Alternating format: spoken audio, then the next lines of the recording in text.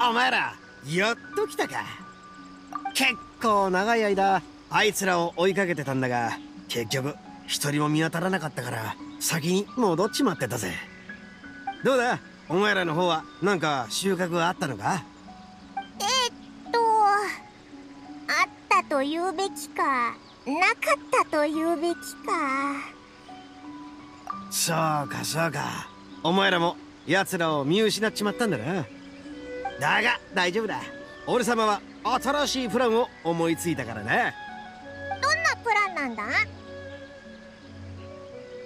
忍のやつがリーウェで勉強して帰ってきた時あることわざを教えてくれた記憶がある、えー、確か何かの虫が伺い何かの鳥が後ろにいる的な、うん、そうそれだお前も忍から聞いたか？前回俺様は人を脅かすことに夢中になるあまり逆にあの人をたぶらかしてた連中に脅かされちまった。今回俺様はまず近くで状況を見てあいつら3人が出てたら俺様の方から奇襲をかけるつもりだぜ。まあお前らの方はとりあえず前回と同じく安心して肝試し大会に参加すりゃいい。じゃあまた後でなあいつまたいきなりどっか行っちゃったぜ。でもあいつの計画は確かにいいかもな。オイラたちの方も巫女のお姉さんのところに行って肝試し大会の2回戦に参加しよ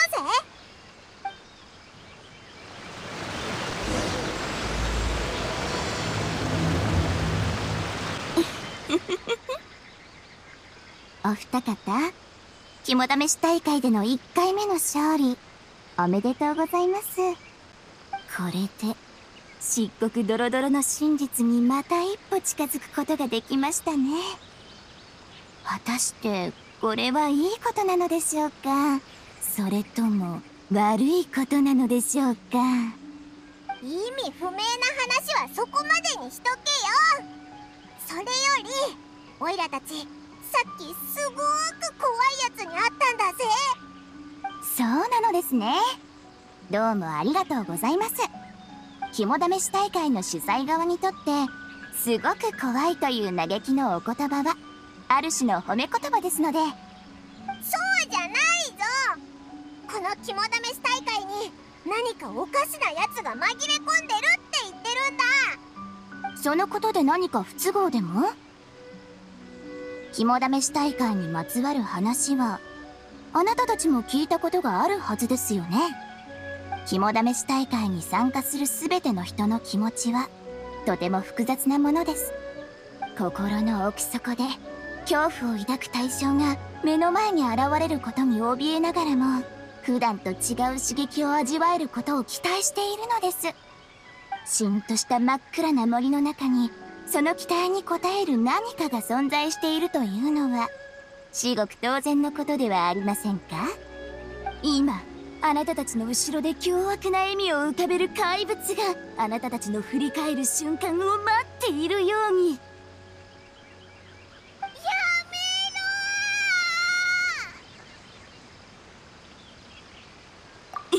めろ さすがですね。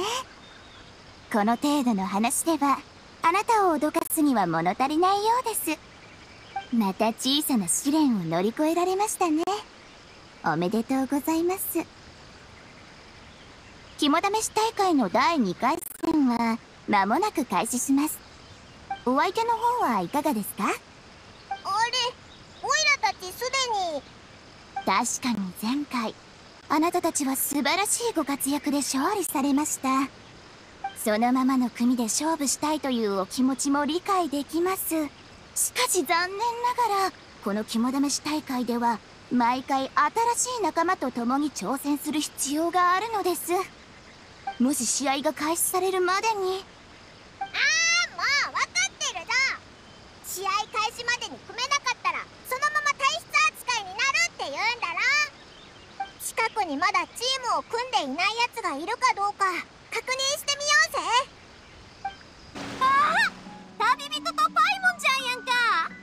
たらもやっぱ来てたんやな。よりみやもいたんだな。うちのことやったら前回からとっくに参加してたで。まあちょっと回るんが早かったからそれで会えへんかったんかもしれへんな。第1回戦で勝ったんはあんたらやって聞いたで。めっちゃすごいやんか。うちも最後の最後団子牛乳の隠し場所は見つけたんやけどな。一歩遅かったわ実はどうやって見つけたのかはオイラもよく分かってないんだ。こいつの後ろにずっと隠れてたらいつの間にか勝ってたんだぜ。へえあんた見かけによらず肝試し大会の達人やねんな。そういうことやったらうちと組まへん？うちらが力合わせたら次も絶対楽に勝てるやろ。えん？よかった。安心してえなうちを選んだことは間違ってへんかったって証明したるで。一気に試合を勝ち取るんや。花火が空に上がるみたいにな。シュパッと他の人が反応もできへんうちに試合は終わりっちゅうことや。どうやらお相手が見つかったようですね。今回も引き続き幸運に恵まれるのでしょうか。もちろん。勝利そのものが幸運であるかどうかは考えものですが。とにかく今回探してきてほしいものを発表しますね。その名も扇です。扇っていうとオイラも知ってるあのセンスのことか？シャブ業の当主自らお選びになった扇は今鎮守の森のとある場所で静かに眠っています。さて導きの準備はすでに整いました。しかし森に潜む暗闇も迫ってきています。持ちこたえられそうにない時は諦めるのが一命を取り留めるための道かもしれませんよ。諦めたりなんかしないぞ。さ出発だ何か落ちてきたぞ早くどっかやってくれほんま見してみ？お？オニカブトムシや！なんかめっちゃ強そうやしうちが持っとくわ。今度のオニカブトムシ大会はこいつらに任せよっと。おかしいな。パイモンちゃんはなんでスミレ売りになってしもたんおいオイラはここだぞあれはどう見てもオイラじゃないだろそしたらこれ一体何やろ？ああ飛んでしもた。逃げんといてえな。うちによう見せて。ここならしばらく安全なはずだ。パイモンちゃん疲れてしもた？んちょっと休む？おう。ここらで一休みしよう。あ。ちょちょちょちょっと待て。あの彫像ってこっちを向いてたかろうそくも消えたもしかして何かが近づいてきてるのかうわ早く逃げろうわほんまこっちに向かってきたでえ一体何なんやんなんでこんなとこに屋台があるんやろ。途中で休憩できるようになっとるんかな。なあジュースを3杯頼むわ。今回はうちのおごりや。やったありがとな。誰かおらへんの？変やな。誰もおらへんわ。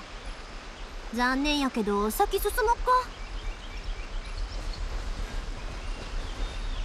この先道がないぞうーんセンスは一体どこに隠してあるんだよ出発他の人に先越されたらあかんでえなんやちょうちんがぎょうさんあるで。綺麗やな。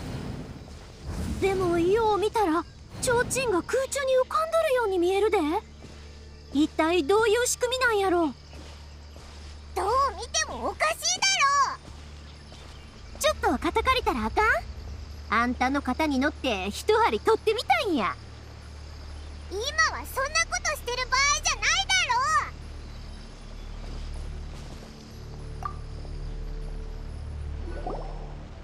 あ見てみ。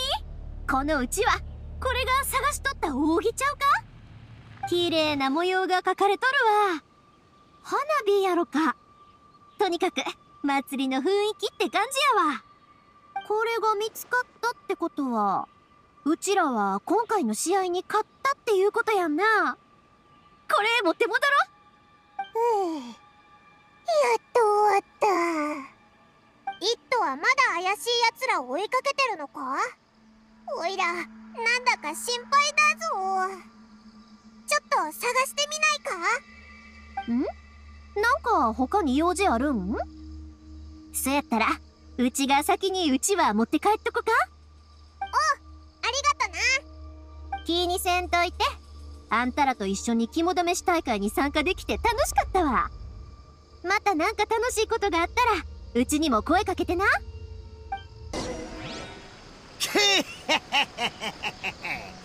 これでもう逃げ場はないだろう。あんたら早く逃げろ。おいらのことはほっといてくれ。おい俺様のことを舐めてんのか？今日は一人も逃がさねえぞ。イットだ。あの3人を捕まえたらしいぜ。早く行ってみようイットまさか本当にあいつらを捕まえられるなんてな逃げろって言ったのに。どうして逃げなかったんだよ。何を言っておる。我らがそなたを放っておくわけがなかろう。もう何も言うな。そんなに食いたいなら僕たち3人をまとめて食うがいい。たたとえお前の腹の中に入ったって僕たちは屈しないからな。食べるだの食べないだの。お前らは何かの美味しい食べ物が幽霊になったやつなのか？イットもなんでずっと黙ってるんだよ？うんこいつらなんか見覚えがあるんだよな。あ鬼バーバが見せてくれた妖怪百科に載ってたやつらじゃねえか？陽子とカッパそれに一つ目小僧だ。そうだろこいつら妖怪だぜ。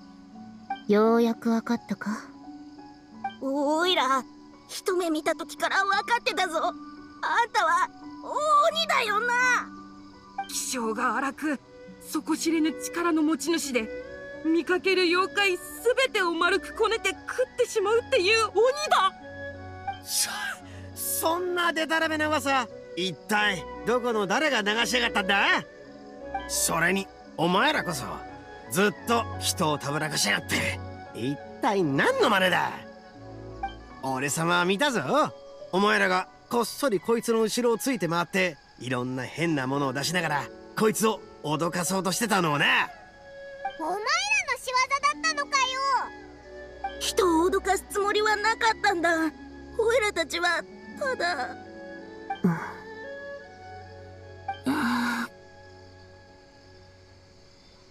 本当か？怒ってないのか？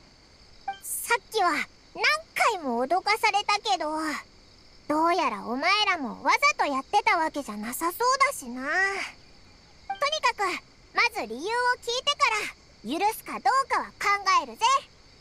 実は我らは祭りを開催したいのだ。妖怪たちが主催し人も参加できる祭りをあエイが言ってたやつだな。参戦花祭りか。その名前なら俺様にも馴染みがあるぜ。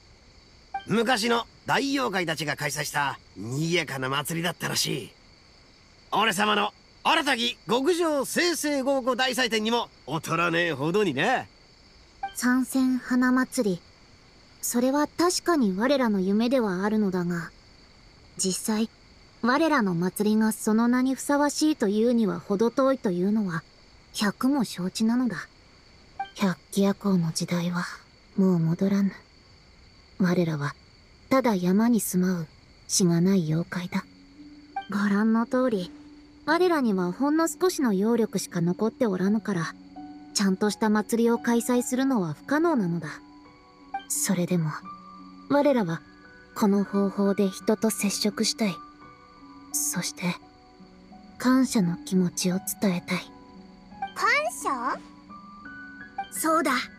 オイラたちは野外に住んでるからいろんな魔物から襲撃を受けちまうんだ。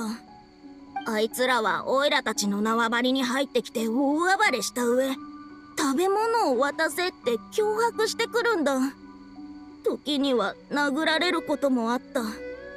オイラたちがようやく一息つけたのは人間の冒険者たちが野に入って魔物を追い払ってくれたおかげだったんだ。なるほどね。人から恩を受けたからには力不足だとしても恩を返したいって考えるもんだよな。気を落とすことはねお前らも堂々とした男だぜ。ってことは砂浜の秋津遊芸はお前らが用意したものだったのか？そうだよ。遊んだ？面白かった？伝説の中の秋津羽遊びを参考にして作ったんだ。たくさんの揚力を消耗してやっとのことで建てられた。揚力が残り少なくなったから森に屋台を置いてお祭りの雰囲気を盛り上げようとしたんだ。そなたたちにずっとついてたのは、その反応を見たいからだったのだ。秋津遊芸ってそんなに大事なものなのか？して揚力をほとんどあれに使っちゃったんだよもっと美味しい食べ物の屋台を作ってくれたらおいらはきっと旅人を連れて思いっきり食べてたぜそういうものなのか実を言うと、我らは今まで人間に接触したことがなかった。だから、何が好きなのかもわからなかったのだ。秋津遊芸を優先して建てたのは、とある伝説を聞いたからだ。あそれって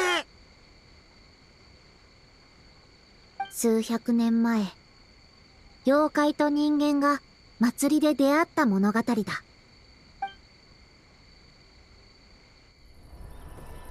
数百年前、三千花祭りに、とあるものの符が迷い込んだ。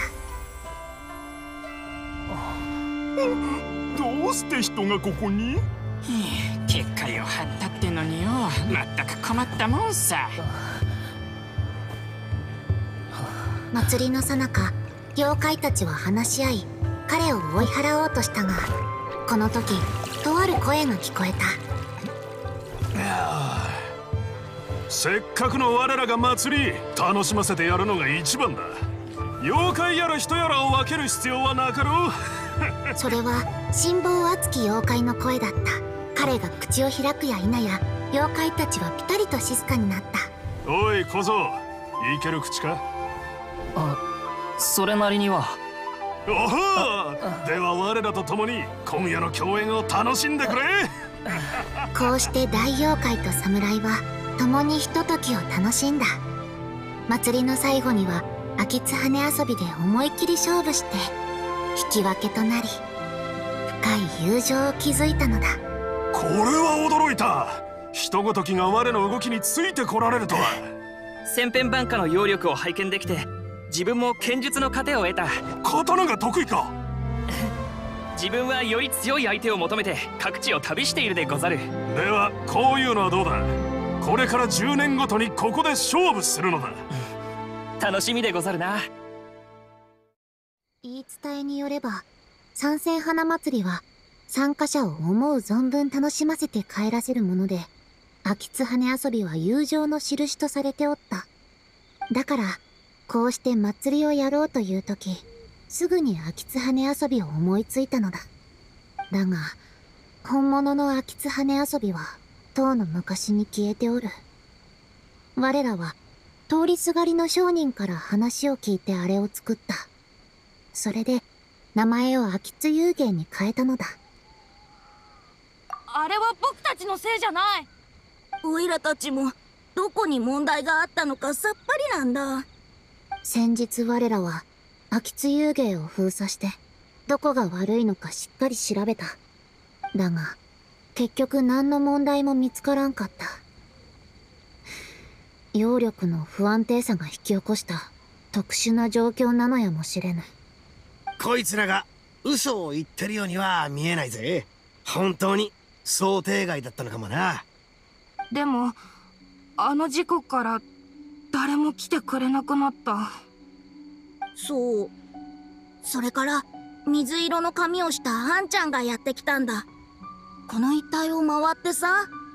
鋭利な目つきであったから。おそらく我らに気づいていたのであろう。だが彼は何も言わずにすぐ去っていった。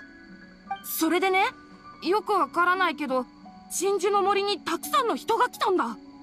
秋津遊芸の方にもまた人が来るようになって本当によかったよ。水色の髪のあんちゃん？そういえば隼人が選んだ扇も祭り用のうちわだったよな。もしかしてあいつ妖怪たちのことを知っててここで肝試し大会を開いたのか？なんだ？綾との兄貴も肝試し大会に参加してたのか？もしかして鬼カブトムシを捕まえに来たのか？それならこの前俺様が捕まえた鬼カブトムシを連れてくればよかったぜ。そしたらしっかり勝負ができたのに。そっか。そういえば「イット!」ってまだアヤトの正体を知らないんだよな。でも本当にほっとしたぞ。オイラたちがあった変な出来事はお化けのせいじゃなくて妖怪たちの仕業だったのか。へへん。本当のことがわかれば肝試しだってそんなに怖くないぞ。おいお前らはきっと人間と遊びたいんだろう。俺様にはその気持ちが。よーくわかるぜ。今じゃ俺らのような妖怪は少数派だ。それで孤独に行動するなんてのはどうしても寂しくなるよな。こうしよう。俺様がお前らの願いを叶えてやる。俺様は妖怪でありながら人間界でも顔が利くんだぜ。この稲妻で俺様の名を知らねえ奴はいねえ。へへへ。行くぞ。俺様が案内してやる。オイラはもうそんなに怖くなくなったし辺りを回ってみないか？妖怪たちは祭りをやりたいって言ってたよな。さっきまですごく怖かったから全然気づかなかったけどさ。よくよく思い返してみるとこの前浜辺で祭り関連のものを見た気がするぞ。行ってみようぜ。もしかしたら何か手伝えるかもしれないぞ。あれ？お前？前会った変なやつじゃないか。また君たち？私のところですでに散々な目にあったのにまだ近づこうだなんて。いい度胸してるわね。今度こそ手加減はしないわ。ここから離れないと私は。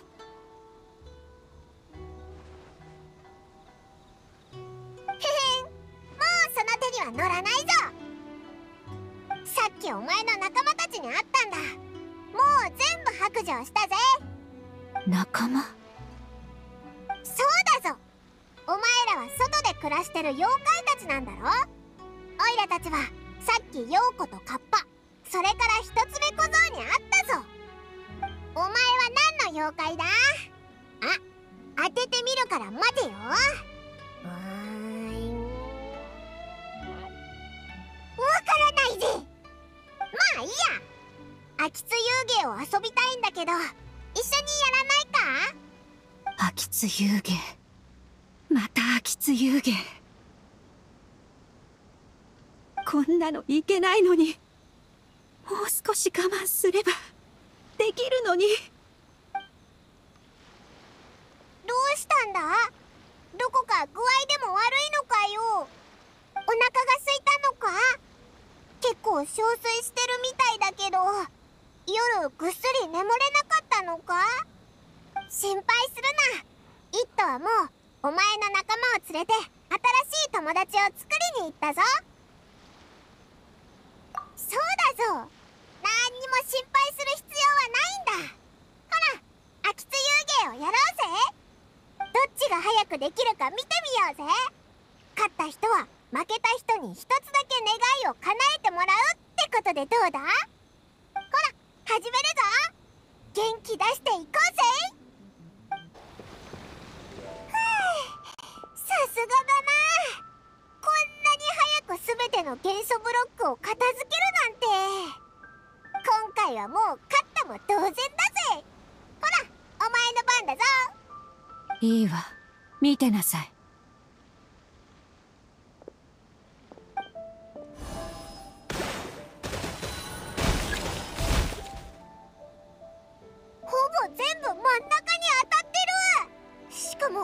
旅人より早かったぞ。目のくらむような一曲だったな。おいら頭がフラフラしてきたぞ。お前はちゃんと見えたか？ルールが変わったって君たちのような初心者には負けないわ。そっか。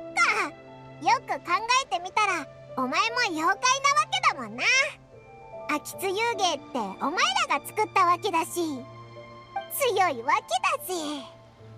いいぞ。おいらは約束を守るやつだからな。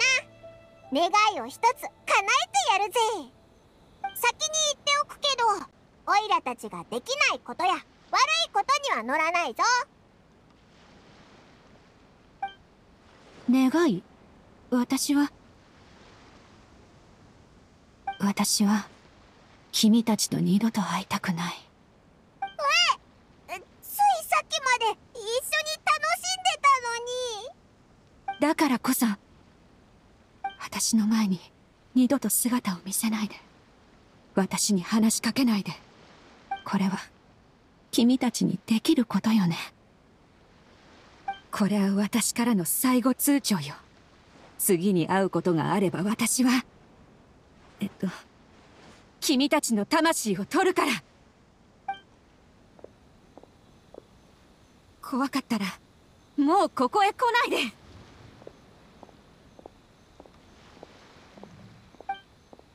うーんおいらたち何か間違ったことでもしたか？そっか。でもあいつと秋津遊芸を遊べて楽しかったぞ。また会えたらいいな「イット!」の方はどうなってるんだろうな。帰ってみるか。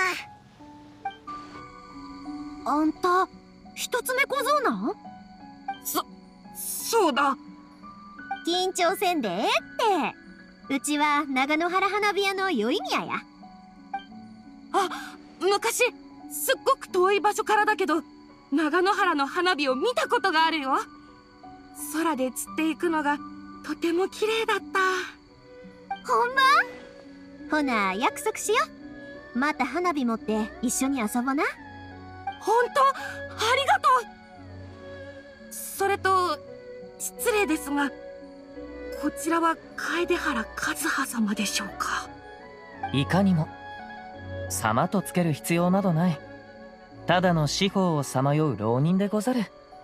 昔野外であなたの剣さばきを目にしてあの時はたくさんの敵と立ち向かっていたにもかかわらず落ち着いていらっしゃった。それはおそらく拙者が稲妻から離れた時のことでござろう。お主の言うほどではない。拙者も苦労してやっと離れることができたのでござる。それも上里家当主の助けがあってのこと。そういえばこちらがその恩人の妹君でござる。ももしかしてあの白鷺の姫君？そんなにかしこまらずとも？こんなにすごい人と知り合えるなんて僕は夢でも見てるのか？話しかけないのか？すまねえおいらは臆病者で。そうか？変だな。俺と話してる時はそんな感じはしないけど。おいらもなんでだかわからねえんだ。五郎様と話す時はペラペラ喋れてなんとなく落ち着けるというか。この三人の中で肝っ玉が一番小さいのがオイラなんだ。前水の中に石を投げる人がいたんだけどそれだけでオイラはビビって水の中に何日も隠れてた。あすまねえ。無意識に自分の悩みを語り始めちまった。変だな。昔はこんなんじゃなかったのに。大丈夫だぞ。みんな向き不向きがある。大事なのは勇気を出して変わろうとすることだ。なあ何の話をしてるんだ？俺たちも入れてくれよカッパ初めて見た。ここんにちは。本当に荒滝様には感謝するばかりだ。こんなにすごい方々を連れてこられるとは。なんてったって俺様は最強無敵の荒滝結が独尊一頭だからな。それに俺様が親分やってる荒滝派にいる奴らはみんな名の通ったやつばかりだ。おい一頭また嘘ついてるな。みんなは肝試し大会に来ただけでお前に連れられてきたわけじゃないだろ。それにほとんどのやつはお前と大して仲良くないじゃないか。くそ。こんな時にバラすなよパイモンひひ教えてはそんなにすごくないんだぞ。稲妻の人脈王といえばやっぱりこのオイラとこの隣にいる旅人だ。なんだと？誰の知り合いが一番多いか俺様と勝負してみるか？やるなら付き合うぞ。怖いことなんかあるもんか。5分お二人とも喧嘩はやめるのだ。私から見れば皆すごい人だ。しかも羨むほどの友情がある。それは釜井様とお侍様のような。それはもちろん。俺様の子分たちだ。まずい。俺様としたことが妖怪たちのことばかり気にしてこいつらをビビらせることを忘れてたぜ。親分。お前ら帰ってきたか。これは。親分ごめんなさい。はあ？親分の賢明な判断を疑ったなんて。肝試し大会マジで怖かった。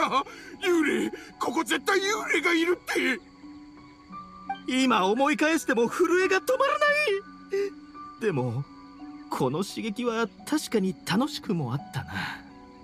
あえー、ええ だから言っただろ。お前らが信じなかっただけだ。ほらほらもう怖がるな。俺様からの種明かしだ。本当はだな。ここに幽霊なんざいやしねえ。お前らが見た怖いもんは妖怪たちの仕業で単なる誤解なんだ。だよな。うーんそのすまぬがこのお三方は知らぬ。そなたたちがどこへ行き何を見たのかはわからぬが我らとは無関係なはず。あえ？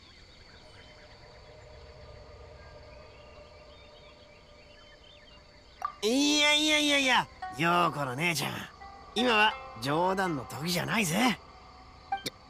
状況はよくわからぬが私は冗談など申さぬ。お前らじゃないとしたらまさか肝試し大会にほ本当に幽霊がいるのか？そうそうあいつお前らの仲間だろ？ちと一緒に秋津遊芸までして遊んだんだぞ。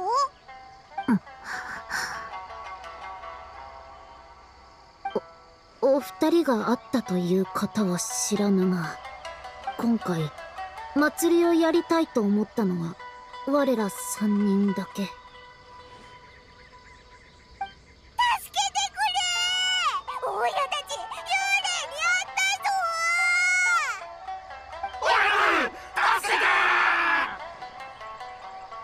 おおおおおおお落ち着けとりあえず落ち着けお落ち落ちお落ち着けやかましいな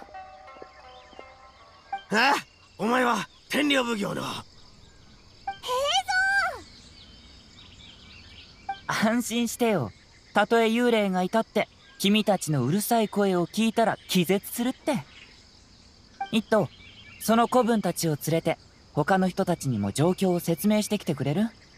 旅人パイモン僕についてきて。おううんかっ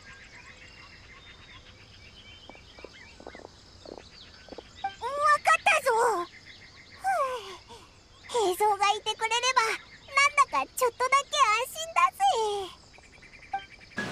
ミコのお姉さんう変だなここにはいないみたいだぜうわこれなんだ見てみろ掲示板に赤い文字があるぞ最後のもの羽子板。肝試し大会の最後の探し物は羽子板ってことか？どうやらあの巫女は僕たちに3周目を完遂してほしいみたいだねでも彼女はままさか幽霊に連れ去られたのか次はまさかオイラだったりしないよなううお前と離れたくないよ筆跡は乱雑だけど周りに抵抗した痕跡はない。確かに変だね。それにしても字が少し多いな。3試合で使った3つのものはそれぞれ3つの勢力によって選ばれたものだと僕は考える。資金を支援した商人は団子牛乳を選び人手を提供したシャブ業はうちわを選んだ。そして羽子板は多分鳴神大社の人が選んだんだろうね。何か特別な意味があるのかな？意味なんて今はいいんだよ。それよりオイラたち本当に肝試し大会の3週目に参加するのか？そりゃ噂の豪華ご神物にも興味はあるけどオイラは安全の方が大事だと思うぞ。えっ、と戦略的撤退っていうのはどうだ僕はここに残るよ。依頼はまだ終わってないからね。未知は恐怖をもたらす。未知から真相を探すのが探偵の仕事ってこと。わかった。映像がそういうのを聞いたら確かにさっきよりは怖くなくなったぞ。うん。じゃあオイラたちも少し待ってみようぜ。もしかしたら巫女のお姉さんもたまたま用事があって離れただけでまたすぐ戻ってくるかもしれないしな。